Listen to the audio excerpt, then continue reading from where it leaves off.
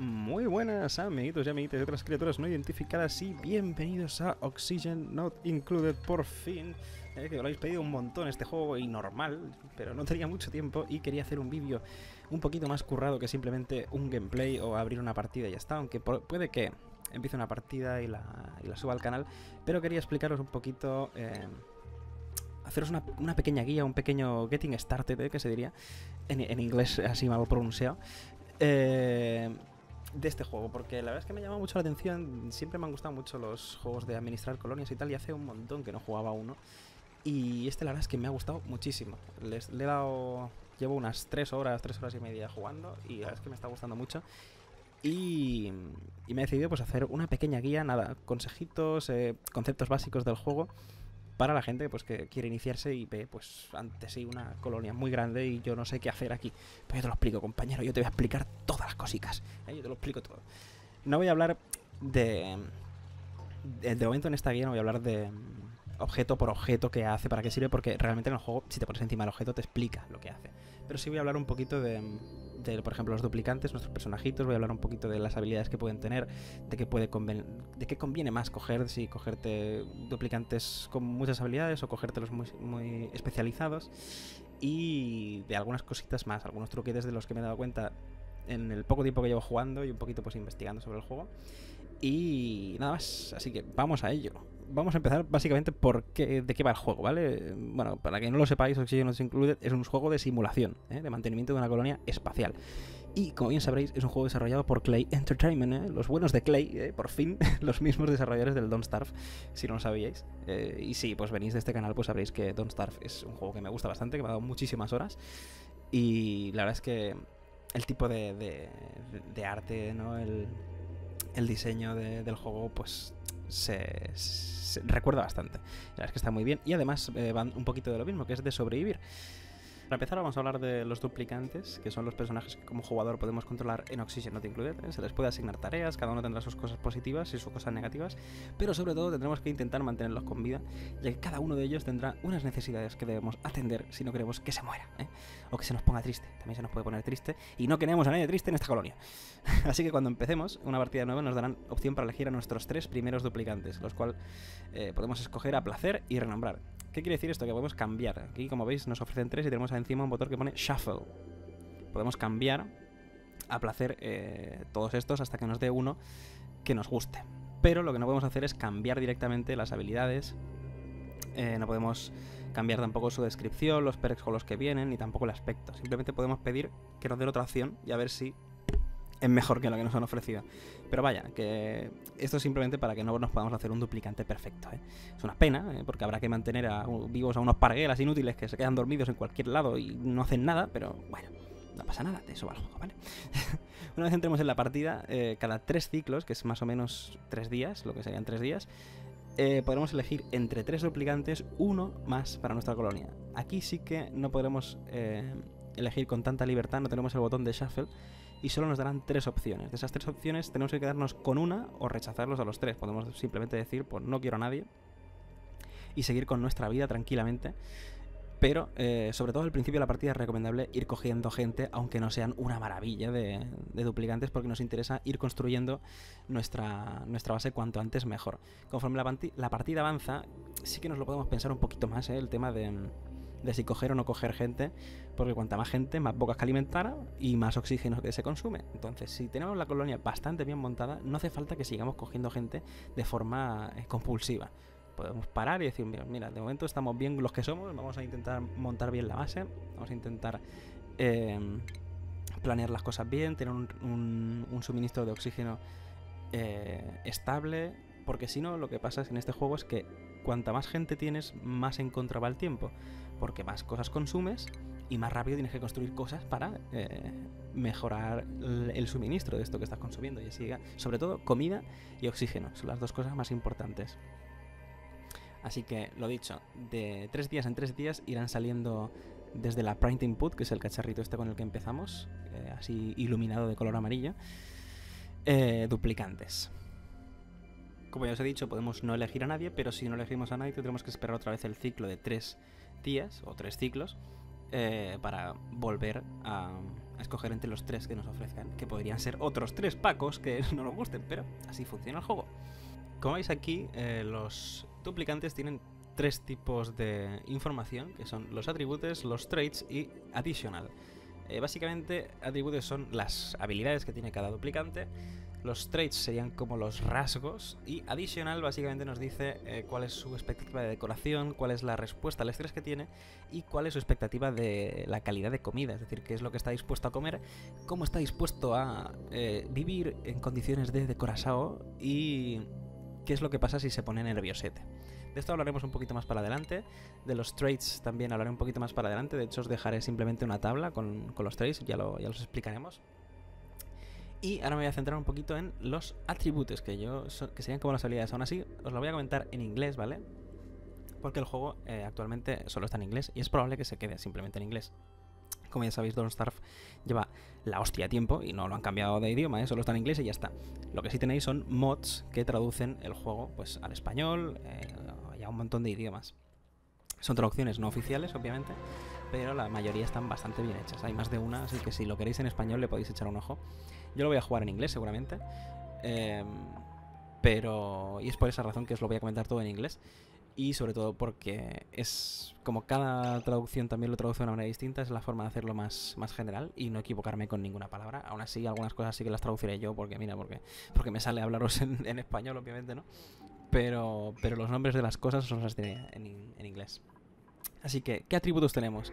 Tenemos Athletics, Cooking, Digging, Medicine, Trickling, Construction, Creativity, Learning y Strength. Lo puedo hacer mm, mejor pronunciado, pero va a ser que no lo voy a hacer, ¿vale? eh, estos serían pues los atributos, ¿no? Las habilidades de, cada mm, duplicante. Y cada habilidad eh, afecta a lo bien y lo rápido, o lo rápido o lo bien, que realiza, realiza cada eh, tarea. Y lo separo rápido y bien, rápido o bien, porque según el cómo vayamos subiendo de nivel, podremos hacer eso más rápido o mejor, o más rápido y mejor, depende de la habilidad. Ahora hablaré más o menos eh, de cada una en, en concreto, no me quiero enrollar mucho, así que lo voy a hacer bastante rápido. Pero básicamente, como podéis ver, por ejemplo, aquí en el ejemplo que tenemos a. Aquí en el ejemplo, por ejemplo, ¿eh? Ojo, cuidado. tenemos a Mae, ¿vale? La, chica que tenemos aquí en el medio, la duplicante del medio, que pone justo debajo de su nombre: Profession Level 8 Miner. O sea que es un nivel, un minero de nivel 8, pero me diréis, pero, pero, pero, Didax, aquí no pone nada de, de, de, miner ni nada de las habilidades. Pero, pero ¿te, has dado cuenta, niño? Que pone que tiene nivel 8 en digging, en cavar. Y es que la habilidad más alta de nuestro duplicante determina su profesión. ¿Qué pasa si tiene dos habilidades en el mismo nivel? Pues que una de las dos es la profesión. Ya está, no tiene más misterio. ¿Cuál de las dos? Normalmente la que se ha subido primero. Es decir, si yo tenía mm, digging al 8 y Learning al 7 y subo Learning al 8, se queda con la profesión de minero. Hasta que Learning no supere a Digging, en este caso del ejemplo, no cambiaría de profesión. ¿Para qué sirven las profesiones? No os creáis que sirve para mucho de momento, es decir, es información que te da el juego de cuál es su especialidad.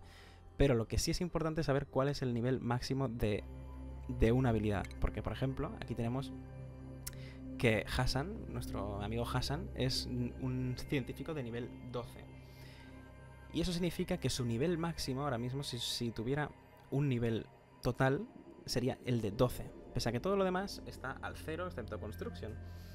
Y eso afecta a, por ejemplo, sus habilidades, sus, perdón, sus eh, expectativas de decoración.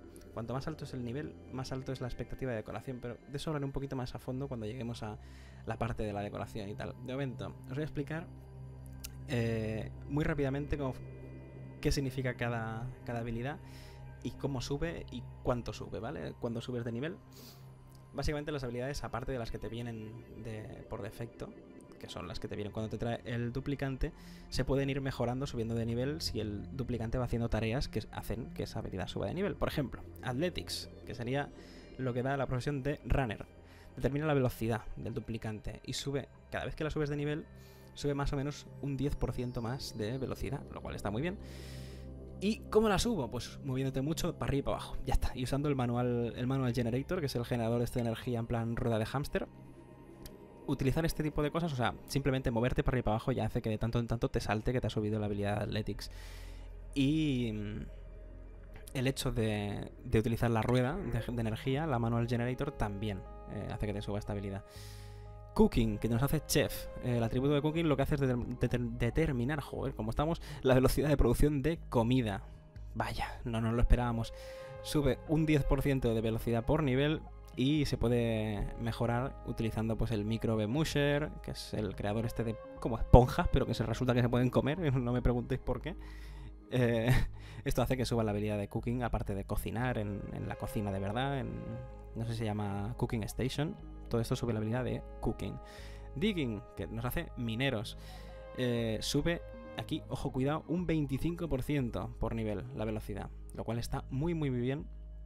Y me hace daros un consejo y es que eh, para el principio intentéis coger gente que tiene digging, porque cavaréis mucho más rápido, subiréis muy rápido la habilidad de digging y hará que la estructura de la base que os queréis hacer desde el principio la tengáis hecha en muy poco tiempo, lo cual es muy importante para empezar a, colocar los, eh, las estructuras donde, donde tocan y tenerlo todo mucho más organizado desde el principio. Digging es muy importante, como no cojáis un buen minero de, de inicio, vais a ir muy, muy, muy lentos. Al igual que es importante cogerse también un buen pensador, pero del pensador os hablaré un poquito más tarde. Vamos a hablar de la siguiente por orden eh, del listado, que sería la de Medicine, que nos hace Physician, que lo que hace básicamente, esta es un poquito más, eh, un poquito más ahí, concreta, porque nos sube el atributo de, nos sube la resistencia a las enfermedades, y aparte nos sube la habilidad para curarnos.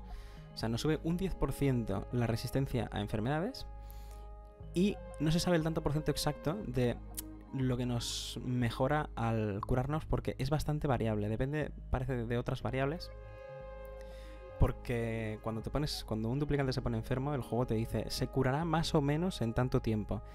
Y te dice, por ejemplo, eh, descansar ayuda. En plan, si te estás en cama, pues te curas un poco antes. Como hay otros porcentajes que afectan al tema, no se sabe muy bien exactamente cuánto es el porcentaje del hecho de tener medicina como, como habilidad. Pero lo que sí se sabe es que se sube un 10% por nivel la resistencia a enfermedades eh, en medicina. Luego tenemos Trinkering, que nos hace Technicians. El Trinkering lo que hace es determinar la habilidad del duplicante para operar con máquinas. Cualquier tipo de máquina, ya, sea los Musher Stations, el Hydrofan, el Generator, cualquier cosa eh, hace que suba esta, esta habilidad. Aparte de otras habilidades, por ejemplo, si estamos trabajando con el superordenador, nos subirá el learning porque estamos investigando y aparte nos subirá el tinkering porque estamos utilizando una máquina. No son incompatibles. Y esto hace que eh, suba nuestra habilidad para utilizar cosas, literalmente, un 10% por nivel. Construction, que nos hace arquitectos el nivel de construcción pues simplemente determina la velocidad con la que construimos cosas, ya está, simplemente. Pero aquí lo importante es que no es un 10% como la mayoría, sino un 25% de velocidad más por nivel, exactamente igual que funciona con el digging. Y básicamente subimos estabilidad pues construyendo cosas, no tiene mucho misterio. La creatividad, aquí está, esta es interesante porque nos hace artistas y la creatividad afecta no solo a la velocidad, sino también a la calidad de las creaciones artísticas de nuestro duplicante. Y diréis, ¿creaciones artísticas? Madre mía, ¿puedo componer aquí la novena sinfonía de Hassan?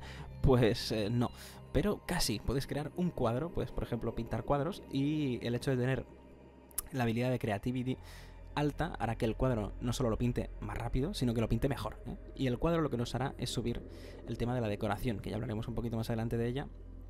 Por lo tanto, si pinta un cuadro, eh, yo que sé, un Paco que no tiene ni puta idea de, creatividad, pues será un cuadro feo. Tardará la hostia en pintarlo, será un cuadro feo y a nadie le gustará y encima todos se podrán nerviosos.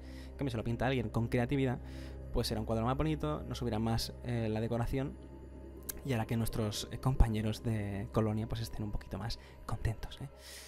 Learning, que es la siguiente habilidad que nos hace científicos, que es la que hemos dicho antes, que os comentaría un poco más. Esta es importante porque al principio es súper, súper, súper clave tener a alguien que tenga la habilidad de learning bastante alta. Por ejemplo, en mi caso es Hassan, que me cogí aquí Hassan en esta partida de prueba para aprender. Esta fue mi primera partida, la que estáis viendo de fondo. Eh, que simplemente la grabé pues para poder ir hablando por encima ahora. Me cogí a Hassan porque dije, mm, es importante yo creo tener a alguien para investigar. Pues vaya que sí es importante. Sobre todo, al principio, te interesa mucho tener acceso a un montón de estructuras que al principio no tienes, para hacer mejor comida, para regular mejor el oxígeno, para un montón de historias que es importante que el tema de la investigación sea rapidito. Luego ya te podrás relajar y no investigar tanto y poder dedicarte a otras cosas, pero al principio es súper, súper, súper clave desbloquear cuanto antes mejor la mayoría de, de estructuras, porque así podemos crear nuestra base con mucha más perspectiva. El tema del learning se, se aplica a la velocidad eh, con la que investigamos en, en el Research eh, Laboratory, no sé, no sé cómo se llama, y el Super eh, PC, que son las dos estaciones de investigación. Y el tema de la investigación afecta también no solo a la velocidad, sino a la calidad. La calidad es en la investigación es un poco complicada de explicar, pero básicamente cuanto mejor es nuestro, nuestra habilidad de learning, no solo más rápido, sino más fructífera es la investigación, porque no es un proceso exacto, sino que imaginaos que es un tío que está ahí leyendo cosas y dice, ah, vale, esto funciona así, lo escribe en un papel, ¿sabes? Y empieza a crear como los prototipos. Si el tío sabe, tiene más aprendizaje, captará mucho mejor el tema de, ah, esto funciona así y hará los prototipos más rápido. Pero no es exacto, no aumenta la velocidad de forma exponencial, no es un porcentaje. Lo que sí eh, es un porcentaje, es la velocidad a la que afecta esto a la investigación. Es un concepto complicado porque afecta muchas cosas a la investigación, no solo la velocidad con la que investiga, sino también la velocidad con la que el tío eh, entiende los conceptos que está investigando. Pero básicamente es aproximadamente un 10% más rápido conforme eh, subimos de nivel en learning. ¿Y cómo subimos learning? Pues básicamente investigando. Y por último tenemos la habilidad de Strength, que es la fuerza. Y que aquí mucha gente se equivoca y se piensa que la Strength sirve para matar los bichos. Sí, pero no. La Strength sirve además para cargar cosas. Sobre todo sirve para cargar cosas. Cuando cogemos, cavamos unos minerales y queda ahí en el suelo, los recogemos. Eh, como veis, tienen que recogerlo, llevarlo al almacén, volver, recogerlo, llevarlo al almacén. Una persona con fuerza, con strength, lo que hará es que podrá coger más minerales a la, a la vez y tendrá que dar menos viajes. Eso está muy bien. Y aparte, eh, pues sí, obviamente pegará más fuerte a los bichitos. Por nivel sube un 10% la capacidad de carga. Y además, algo particular de esta habilidad es que no se puede aprender. Es decir, si tenemos fuerza cero, como le pasa por ejemplo a mi querido Hassan, Hassan nunca podrá aprender la habilidad de fuerza. Tiene que venir con fuerza 1 por lo menos para que esa habilidad se pueda ir mejorando y leveando. Así que básicamente cuando entramos en una partida yo recomiendo que lo que hagáis sea ir a la pestaña de Jobs, arriba a la derecha, como estáis viendo, y que quitéis las habilidades que se le dan peor a cada uno de vuestros duplicants. No que dejéis a, por ejemplo, yo dejar a Hassan que solo investigue, porque no siempre querré investigar. Y necesitaré que Hassan vaya haciendo otras cosas. Pero, sobre todo, no quiero que investigue Mae, por ejemplo. Que no tiene ni idea de investigar. Siempre que se investigue, quiero que sea Hassan. Si no es Hassan, es mejor que no se investigue, en este caso, ¿no? Pues todo lo que tenemos que hacer es en la pestaña de Jobs quitar las cosas que sabemos que se le dan mal a nuestros duplicants y dejar que cada uno haga lo que mejor se le da, pero no solo su profesión básica, sino las 3, 4, 5 cosas que mejor se le da. Y sobre todo nunca quitéis a nadie de cavar, de recoger, ni nada, porque eso os, os, creará muchísimos problemas. Siempre es bueno que todo el mundo esté disponible para cavar, para fregar y para todas estas cosas. Cooperación, amigos. Cooperación es la palabra. Aquí se tiene que cooperar en la colonia para que todo funcione. Pero ahora vamos a hablar de algo muy importante que es la expectación de decoración, que es algo que hemos comentado que está en, en la descripción de nuestros personajes. Y es que las áreas con un valor de decoración inferior a la expectativa de decoración de un duplicante causarán que el medidor de decoración baje, al igual que si la decoración del área supera las expectativas, pues subirá. Pero si ese medidor de decoración pasa por debajo de las expectativas del duplicante, eso le causará estrés. Sí, señores, nuestros duplicantes se estresan porque la base no es bonita. y las expectativas de cada duplicante irán siendo cada vez más altas conforme suban de nivel. El nivel de su habilidad más alta, es decir, si yo tengo a Hassan, ya sé que lo pongo de ejemplo en todo, en todo, ¿no? Pero es que, yo qué sé, le tengo cariño. Que tiene un 12 en Learning, ¿no? Y Hassan va subiendo de nivel la habilidad de cavar, porque cava mucho. Tenía, yo qué sé, tenía un 0 en cavar, de repente tiene un 1, de repente tiene un 2, de repente tiene un 3. ¿Eso le sube el valor de eh, expectativa de decoración? No. Hassan sigue teniendo la misma expectativa de decoración, pero cuando suba su habilidad de, de aprender, de learning, del 12 al 13, sí que subirá su nivel de expectación de decoración. porque sube con la máxima habilidad que tengamos en ese momento, es decir, con la profesión, el nivel total del personaje. Del duplicante, perdón, es que ya pues me acostumbro. ¿Eso qué quiere decir? Que nos conviene tener un poquito de cuidado con el tema de personajes con una única habilidad muy, muy, muy, muy subida. Por ejemplo, Hassan. Hassan tiene un 12, ¿no? En aprendizaje, por lo tanto es mi duplicante con expectativas de decoración más altas, porque su nivel máximo eh, es el más alto. Así que está muy bien especializar a los eh, duplicantes, pero siempre teniendo mucho, mucho cuidado con el tema de la decoración. Si vais decorando y tal, no os causará problemas, pero tenedlo muy en cuenta. Además es curioso porque en versiones anteriores del juego la expectativa de decoración era infinita, es decir, tú podías ir subiendo de nivel, que tu, tu expectativa era cada vez mayor y tenías que tener al final la base llena de cuadros y llena de todo. Porque tenías a alguien que era súper bueno, yo qué sé, investigando, ¿no? Ahora mismo eso lo han quitado. Eh, a día de hoy, y para que sepáis qué día es hoy, pues tenéis un poquito para abajo la ruedecita y veis a qué día se publicó este vídeo.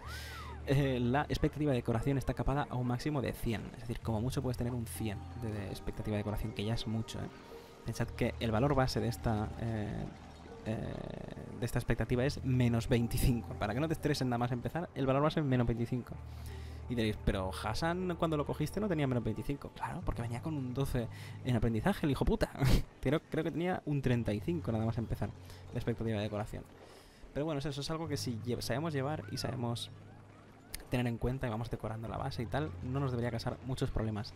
Si nos causa problemas, ¿qué sucederá? Pues que nuestros pequeños duplicantes se estresarán. ¿Y qué sucede si se estresan? Hay tres tipos de respuesta al estrés, eso es algo que también estábamos viendo en la pantalla del duplicante, en la información está extra. Hay tres tipos actualmente, los vomitadores, los destructivos y los llorones. Los vomitadores básicamente dejan lo que sea que están haciendo y vomitan en el suelo. El vómito es tratado como agua contaminada, lo cual puede estresar a otros duplicantes y crear una cadena de estrés súper genial, chuli piruli. y pueden vomitar en cualquier lugar, incluido escaleras o mientras están cayendo por un precipicio ahí en el aire, pues también pueden vomitar ahí. Eso es maravilloso. Luego tenemos los destructivos que dejan lo que sea que están haciendo y empiezan a romper cualquier cosa que se encuentran. Normalmente eh, tarjetean a las baterías pequeñas, los oxidizers, los manual generator y todas estas cosas que se agradece que no sean muy caras, la verdad. Pero sí, focusean a esto y hasta que no rompen algo no paran. Y además, si estamos en alerta roja o lo que sea, ellos sudan, ellos están a su bola. Que ya hablaremos en otro momento de la alerta roja, que básicamente es eh, poner el, estado de emergencia en la colonia para que ni duerman ni hagan otras cosas que no sea lo que les estás eh, pidiendo. Y por último, de momento tenemos el llorón, que es básicamente que deja lo que sea que está haciendo y se pone a llorar muy sonoramente, ¿eh? muy estridosa y molestamente.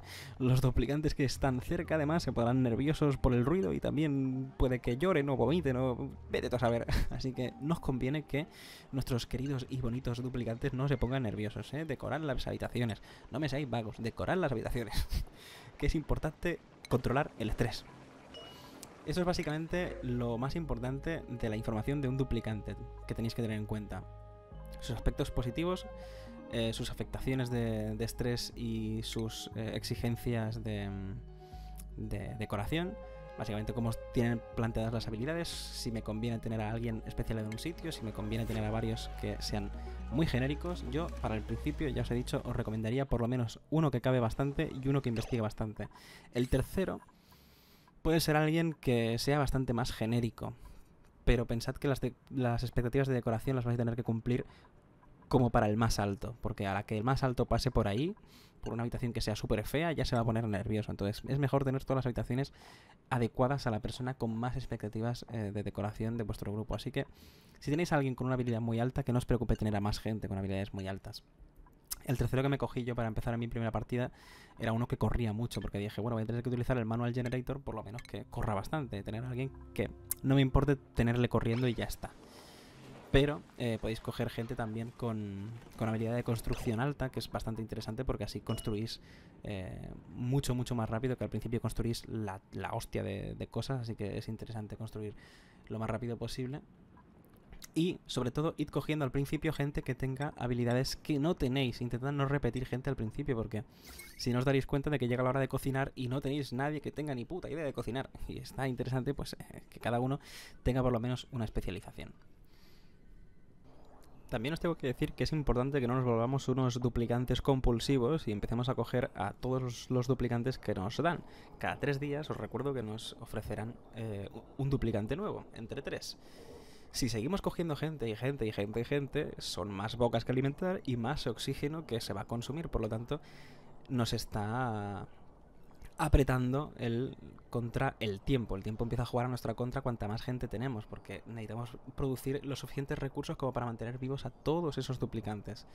Así que para el principio está muy bien coger muchos duplicantes porque haremos eh, toda la estructura de la base más rápido, podremos construir todo lo necesario más rápido y demás, pero llega un punto en el que quizá conviene empezar a frenar porque es lo que os digo, si no tenéis la base bien montada empezaréis a notar que, uy, no tengo oxígeno, uy, no tengo comida, vaya, son mucha gente que alimentar.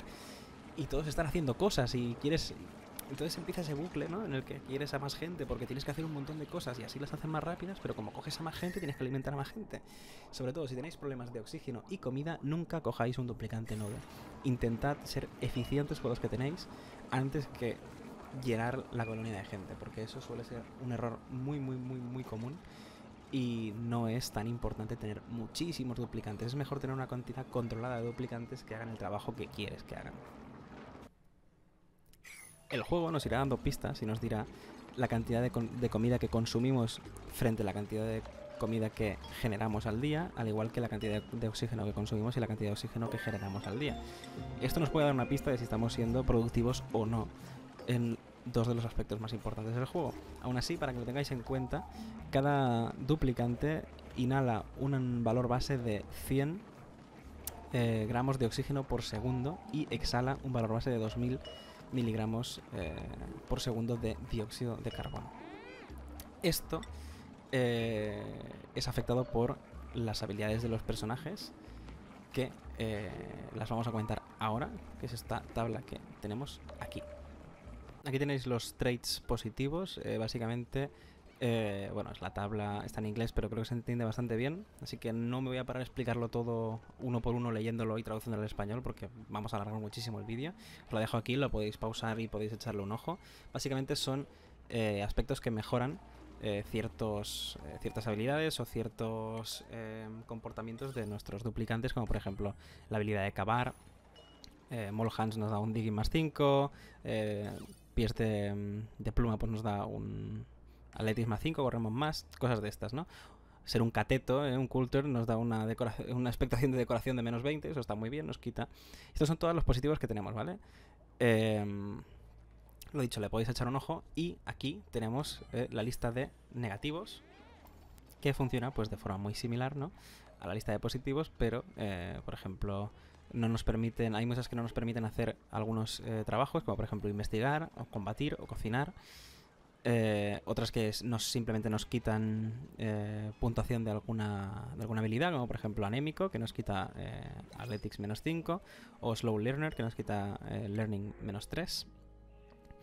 Y luego hay las típicas de come más, respira, necesita mucho más aire o algunas como Biohazard, que simplemente eh, dice que no puede estar mucho tiempo en aire en oxígeno contaminado, cuando nadie puede estar mucho tiempo en oxígeno contaminado, pero este pues aún menos, ¿no? Menos resistencia a ciertas situaciones. Y por último, como información que podemos obtener de los duplicantes estarían los estados que pueden tener, que es básicamente esta lista de aquí, que es un bocadillito que se les abre justo al lado y le sale una de estas eh, caritas, ¿no? Estoy contento, enfadado, súper cabreado, mm, descontento o triste.